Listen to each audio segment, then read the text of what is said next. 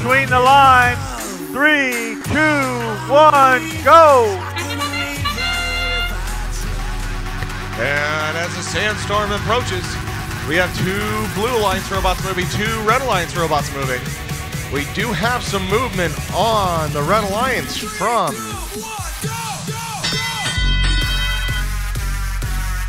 5857. That's Walnut Valley Robotics, but they are moving after the end of the sandstorm. Looks like they're going to try and get a hatch panel on the Red Alliance rocket. All the while, the Scorps, with an innovative platform on their robot, looks like it might have deployed a little early. The coconuts, coconuts, look like they're having some connectivity issues with their robot. Like a, I see someone trying to wave over the FTA, trying to figure out what's going on. Meanwhile, their alliance partners, the Tide Gears, have a hatch panel. Oh, the coconuts are back. They're gonna quickly try and score that piece of cargo, and they do.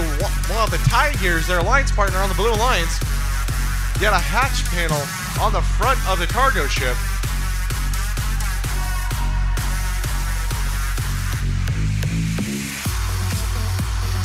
Looks like the Vitruvian bots on the Blue Alliance might have stalled out themselves. We are seeing flashing lights above the driver's station, so there's some connectivity issue. Their alliance partner, Walnut Valley Robotics, able to successfully place a hatch panel on that Red Alliance robot. Oh, and that loud thud was from the Scorps lowering their hand. Walnut Valley Robotics going up high, trying to get a hatch panel on the top level of the rocket. Coconuts driving around.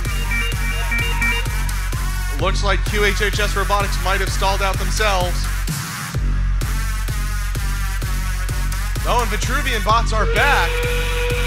That sound means there's less than 20 seconds left.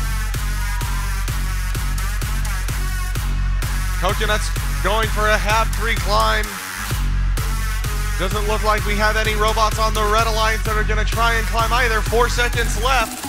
Will the Coconuts have enough time? They're working on it. Oh, but time expires. Time runs out as they were starting to lift up.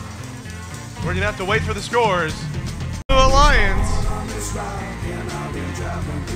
46 to 44, a close match with no penalties you fast talking cats would do if you could. You know I'm ready for the final surprise. There ain't no